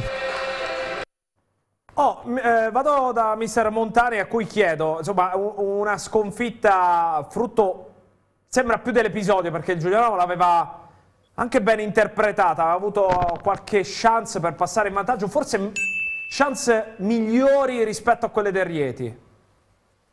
Guarda Andrea, prima fammi fare una piccola osservazione perché mh, prima Stefano, parlando dell'intervista di, di, Fabio, ha detto mi volevo rilasciare sulle parole di mister Montani. Probabilmente si è confuso. Io di mister di Fabio prima del Castelnuovo non ho parlato, abbiamo parlato solo del Notaresco e del Castelfidardo, quindi siccome stimo tantissimo di Fabio non vorrei che magari... Ah, ok, ok. Ma magari Forse... sarà stato un, un refuso, un lapsus. Esatto, quindi assolutamente. Per quanto riguarda invece la partita, dalle immagini che, che, ho visto sembra proprio così, nel senso che la partita equilibrata e lì poi i famosi episodi che nel calcio fanno la differenza, questa volta eh, sono andati a favore loro, perché è sembrata una partita equilibrata e sullo 0-0 c'è stata quella palla gol sul, sul giocatore che la manda da fuori Giulianova, magari lì fai gol in questo momento ah, sarebbe tutto ossigeno per il Giulianova, ma l'ha sbagliata, invece l'episodio è andato a favore. Sembra dalle immagini così.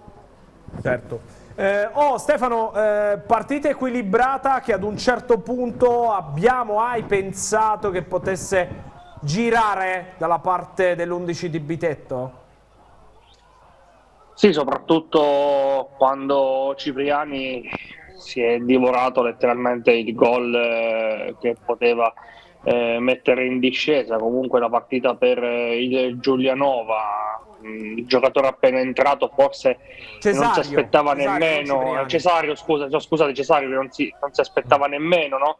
di trovarsi la palla in, in, quella posizione. Lui ci è andato anche col piede eh, sbagliato credo se, se vogliamo ma il Giulianova ha avuto le occasioni per, per vincere la partita se vogliamo.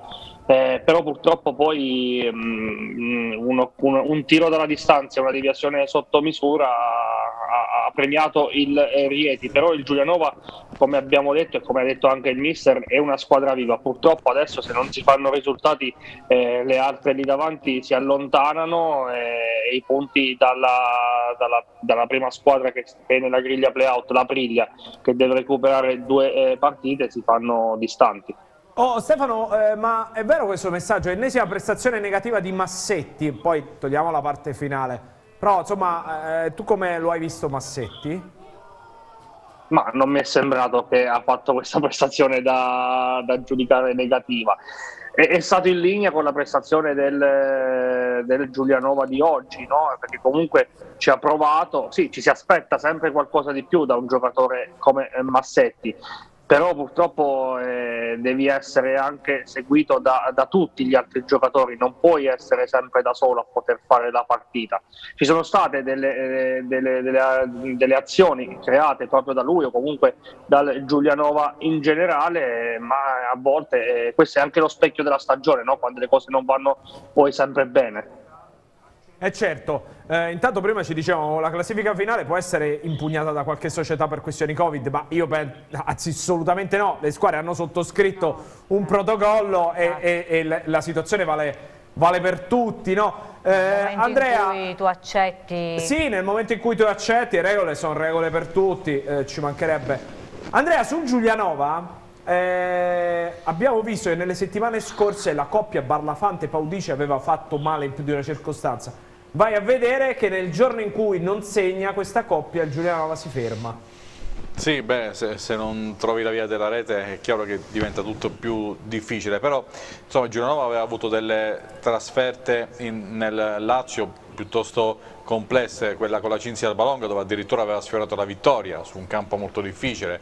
Oggi Rieti aveva la motivazione di ritrovare il suo campo e dopo il cambio di allenatore quasi di inerzia ha vinto questa partita con, con quel guizzo alla fine. Eh, diciamo che a livello di, di, classifica oggi non è stata una gran giornata per il Giulianova ma la salvezza è ancora giocabile, tenuto conto che eh, giovedì non giocherà eh, o meglio no. mercoledì non giocherà con l'Agnonese. Vediamolo il prossimo turno intanto? Mm. Ma quella è una partita che poi quando sarà giocata va vinta, il Genova deve anche recuperare la partita col Porto Sant'Elpidio e anche quella è una partita che va vinta e, e sottolineo non sono partite vinte, sono da vincere perché sono le ultime due e Giunova ha bisogno di, di punti per rendere più pingue la sua classifica che insomma eh, è abbastanza anemica.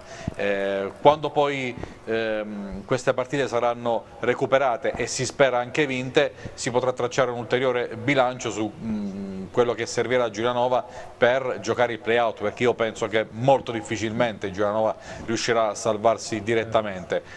quasi, quasi, certamente la strada da perseguire è quella del play out e da questo punto di vista lo spauracchio è il mantenimento eh, del, del, distacco rispetto a, a, alla squadra contro cui dovrà fare eh, l'eventuale spareggio. Ora il Giulianova è terzo ultimo quindi bisogna mantenere un, un, il distacco di 8 punti o meglio inferiore agli 8 punti per poter fare il, il play out. Quindi Giulianova ha bisogno di vincere delle, delle partite intanto fatto per questo obiettivo, poi tanto meglio se dovesse guadagnare punti in, in classifica. Tuttavia le squadre più vicine sono squadre che devono recuperare diverse partite, ben più del Giulianova, mi riferisco a Pineto e Fiuggi, dunque la strada è abbastanza complessa ma ancora fattibile.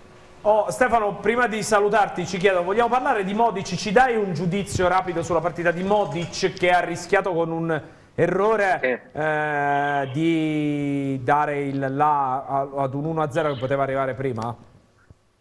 Sì, ma lì non c'è nel, nel, servizio, ma ha rischiato anche di lasciare la squadra in 10 perché il direttore di gara lo ha graziato su un, eh, un fallo e quindi un secondo giallo a centrocampo, un fallo eh, stupido, eh, una prestazione mh, mm, forse al di sotto eh, di quella che è stata la, la, la, la prestazione complessiva della squadra eh, da un giocatore da cui ci si attende qualcosa in più dal punto di vista dell'esperienza. Eh, invece un plauso lo faccio io a Danna perché questa, anche oggi si è messo a giocare dietro e ha fatto una signora partita. Eh, Assolutamente. Sì, Andrea? Eh, eh, allora, il problema del Giulianova è recuperare i difensori over, che, sono, eh, che intanto è Demoleon e, e, mm, e, e l'altro è Caso.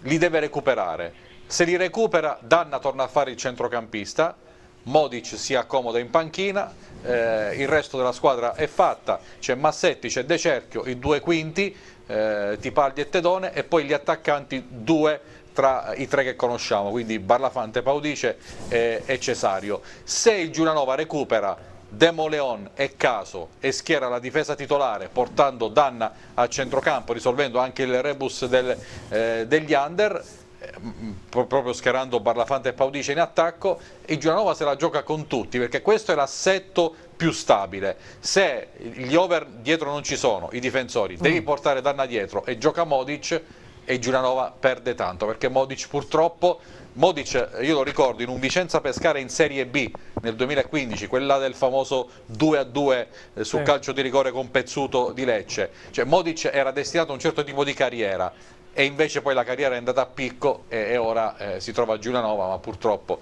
è un calciatore che non ha fatto la carriera che avrebbe dovuto e purtroppo non è un punto di forza di questo Giulianova. Assolutamente. Quello che dice Andrea è sacrosanto perché Danna sono diverse partite che viene sacrificato dietro, quindi eh sì. anche se c'erano stati dei miglioramenti negli ultimi, eh, nelle ultime settimane, però poi ecco, questa situazione ha portato a una involuzione. Eh, quella di oggi è una, una cosa proprio un'occasione persa. Assolutamente.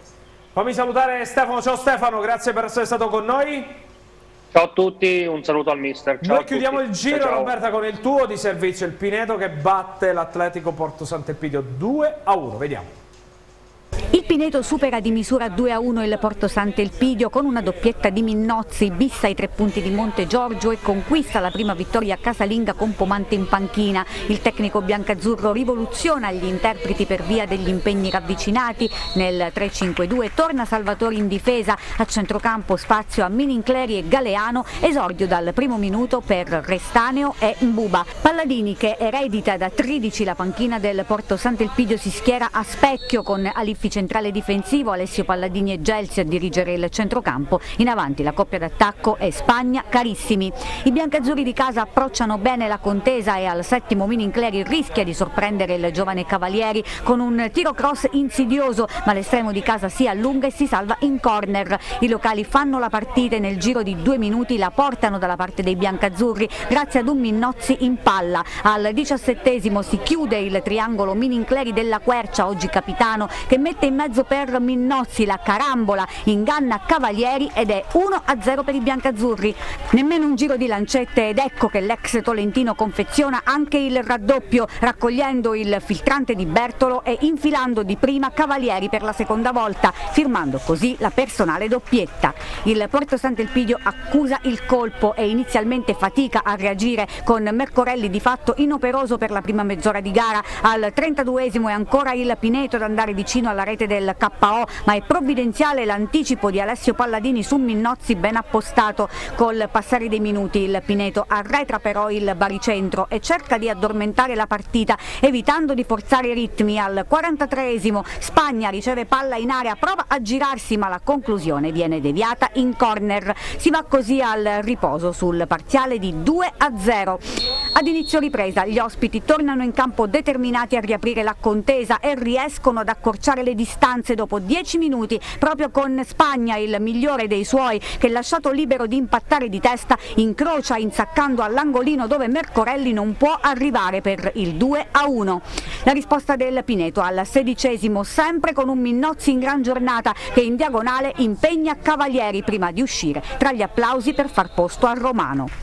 Cambia anche per Palladini che richiama Carissimi e Pierdomenico per far posto a Zira e Marcattili col passare dei minuti. La pressione dei marchigiani cresce di intensità nel tentativo di riequilibrare le sorti del match, ma non riesce a produrre occasioni in grado di mettere in difficoltà i biancazzurri che pur soffrendo sembrano poter controllare la contesa fino al triplice fischio finale. L'ultima occasione in pieno recupero è per Romano che servito da Cernaz viene però anticipato da Cavalieri proprio al momento del tiro. Il Pineto porta così meritatamente a casa tre punti preziosi nonostante avrebbe potuto mettere in ghiaccio prima la contesa in attesa della trasferta di mercoledì in terra laziale contro la Cinzia Albalonga. Cammino in salita invece per il Porto Sant'Elpidio che comunque dimostra anche oggi di avere le carte in regola per poter mettere in difficoltà gli avversari. Avevo paura di questa partita perché non è facile affrontare una squadra che non ha nulla da perdere.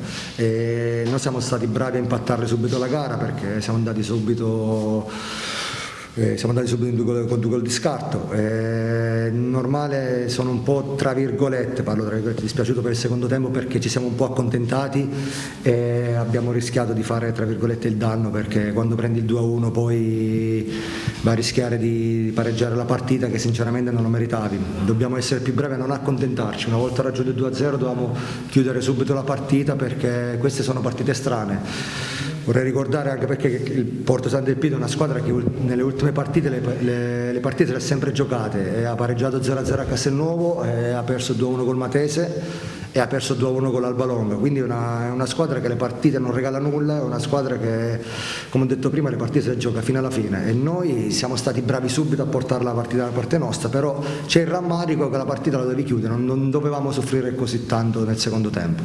Ah, questa sarà per me da qua fino alla fine, almeno fin quando non ci saranno tutte partite ravvicinate, sarà una routine perché è obbligatorio far riposare un po' di giocatori. E perché da qui fino a metà maggio troveremo tante partite ravvicinate e sono obbligato a far riposare ogni partita qualcuno. Il primo tempo un po' troppo timorosi, li abbiamo fatto giocare un po' troppo, e abbiamo sbagliato tantissimo.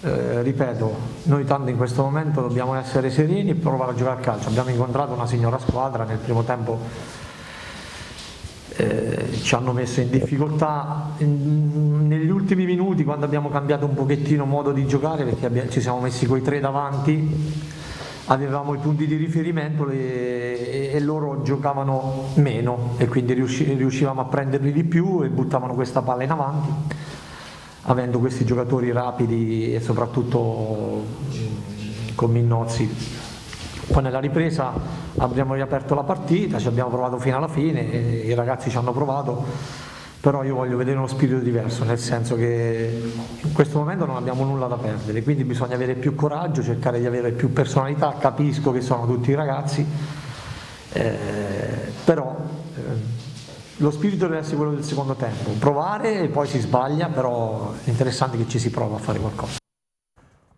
Oh, Roberta, in pochi giorni sei punti, Minnozzi è diventato l'uomo eh, a cui si aggrappa il Pineto per uscire da una situazione che non è che era complicata, era complicata perché sostanzialmente questa squadra le partite non le ha giocate. Ti dico la verità, eh, rispetto a domenica scorsa, in cui non, eh, partita in cui non mi era piaciuto moltissimo, invece poi mercoledì e oggi è stato veramente mm. l'uomo in più, eh, oggi si è fatto trovare al sempre al posto giusto nel momento giusto, eh, anche, hanno fatto una buona prova anche della Quercia che oggi ha indossato la fascia, fascia capitano, capitano e, e anche anche Minincleri hanno giocato, insomma il ha giocato un buonissimo primo tempo, anche se la squadra insomma, di fronte era, è ultima in classifica, però eh, nel secondo tempo ha, ha sofferto invece certo, ci arriva sempre un po' di col fiatone. Sì, però... ci arriva sempre un po' col fiatone, esatto. 1-0 a Montegiorgio, 2-1 oggi, però insomma no, l'importante eh... è che siano arrivati questi questi sei no, punti. I punti sono assolutamente vitali per il cammino del Pineto in questo momento, tre punti, quelli di oggi secondo me importantissimi anche perché mercoledì vai ad affrontare una partita secondo me difficilissima eh, in terra laziale sì. contro la Cinzia Albalonga, per cui quelli di oggi erano tre punti assolutamente fondamentali per il cammino, bene così, anche se come diceva anche Pomante nell'intervista forse la partita bisognava chiuderla prima e il Pineto come al solito, il solito Pineto nel secondo certo. tempo eh, eh. ci ha fatto soffrire un po'. Oh, mister, io volevo chiederti, eh, questa è una squadra che abbiamo detto prima del recupero di, delle tante partite che dovrà fare, eh, insomma, eh, la Recanatese ci aveva insegnato che poi riprendere non è così semplice, invece, e ne siamo particolarmente contenti, per il momento il Pineto sta facendo quello che deve fare, cioè vincere quante più partite possibili, e non era così scontato. Assolutamente, sono d'accordo con te. Infatti ho ascoltato attentamente le parole di Comante e condivido con lui il fatto che in questo momento ogni partita eh, adesso lui dovrà, dovrà, cercare di far ruotare qualcuno e credo che sotto questo punto di vista non ci avrà nessun problema perché la rosa del Pineto è talmente importante e ampia che può attingere come vuole invece so, sarei più, diciamo, un filino più preoccupato, mettendo un attimino nei, panni, nei suoi panni, nella gestione adesso della, della, squadra a livello di allenamenti, perché giocando sempre praticamente tu non, non avrai mai una settimana tipo. E questo non è una cosa molto positiva, specialmente per un, per un subentrante come lui, la squadra è stata anche rinnovata in maniera importante nel mercato quindi hai bisogno di lavorare quotidianamente, di poter fare una doppia durante la settimana e questo lui non lo potrà fare quasi mai perché mi sembra che abbia tipo sette partite da recuperare. Sì, sì. E quindi questo sarà secondo me l'aspetto molto importante dove lui col suo staff dovrà essere bravo a cercare di, di estrapolare il meglio e di lavorare il più possibile perché adesso per esempio anche in riferimento a Giulianova, prima quando parlavamo, Giulianova sotto questo punto di vista mi sembra che ne deve recuperare una sola, sì. avrà la possibilità di lavorare tutta la, tutta la settimana, di poter recuperare giocatori e quindi cercare di arrivare all'obiettivo di centrare i playout. Sotto questo punto di vista avrà un piccolo vantaggio, mentre invece chi dovrà giocare sempre domenica, mercoledì, domenica, mercoledì non sarà una cosa facile. Sicuramente ha una rosa ampia e potrà ruotare e attingere come vuole, però sotto il profilo del lavoro secondo me da credo sia complicato. Ma quello che gli va riconosciuto sicuramente, eh, perlomeno in, questi, in, queste prime partite a Marco Pomante, è sicuramente la, il coraggio di osare, perché comunque eh, ha cambiato eh, nel suo 3-5-2 diversi, diversi, giocatori eh, e ha fatto anche esordire nel, nel, corso di queste tre partite praticamente tre ragazzi giovani che non avevano mai giocato dal primo minuto. Quindi questo comunque... Eh, tra per ampliare quelle rotazioni sostanzialmente che poi ti esatto. serviranno. Esatto, lui ha, ha, ha, detto che questa sarà una costante nell'intervista che ogni volta cercherà comunque di cambiare perché necessariamente deve tenere a riposo eh, dei giocatori eh, perché come diceva il mister giocheranno praticamente ogni tre giorni, però quello che mi sento insomma, di dire a suo diciamo, favore è che comunque gli va riconosciuta questa capacità di osare e di inserire mm. i giocatori che comunque lui aveva conosciuto già nel settore giovanile e che finora devo dire hanno dato il loro contributo. Assolutamente. Sì, oh, eh, sì, infatti volevo dire proprio eh, sotto questo punto di vista avere una rosa ampia eh, ti permette al di là del, di avere il coraggio di fare alcune scelte, gli va riconosciuto, ma di poterle fare perché certo. ci sono squadre che magari non hanno la rosa del Pineto. Indubbiamente, questo è l'incipit, sì, mister. Sì. Certo. secondo me il discorso di non poter mai lavorare durante la settimana in maniera certosina, in maniera chirurgica, in maniera importante, questo non è una cosa molto positiva.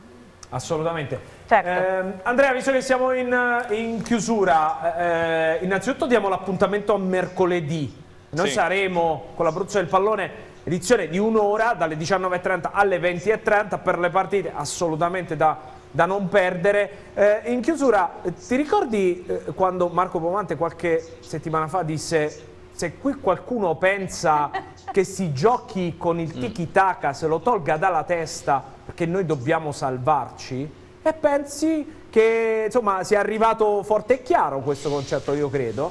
Beh, a giudicare anche dalla partita di Monte Giorgio, che è stata la partita più importante, perché era uno scontro diretto, perché il Pineto l'ha interpretata bene all'inizio, poi ha un po' sofferto, ha avuto un pizzico di fortuna alla fine, ma eh, quella gara fa la differenza in questo periodo di ripartenza del Pineto perché ha dato un po' più di, di tranquillità, poi doppiata anche dalla gara di oggi che insomma era un po' da tre punti, eh, al di là del fatto di rispettare l'avversario, la partita va giocata, tu, tutto giusto, però eh, Porto Sant'Epio a tre punti e il Pineto li doveva fare assolutamente. Quindi la gara di Montegiorgio è stata fondamentale da questo punto di vista, va gestito l'intero periodo, oggi ho visto che ha fatto un discreto turnover, è una cosa che può funzionare ma secondo me funziona soprattutto quando la squadra è diventata squadra, quindi è una cosa che contro il Porto Sant'Epidio può andare bene, non so se sarà possibile fare questo corposo turnover da un mercoledì a una domenica quando l'avversario sarà di, di, tenore superiore, però benvengano queste due vittorie consecutive che fanno molto bene alla classifica, aiuteranno a lavorare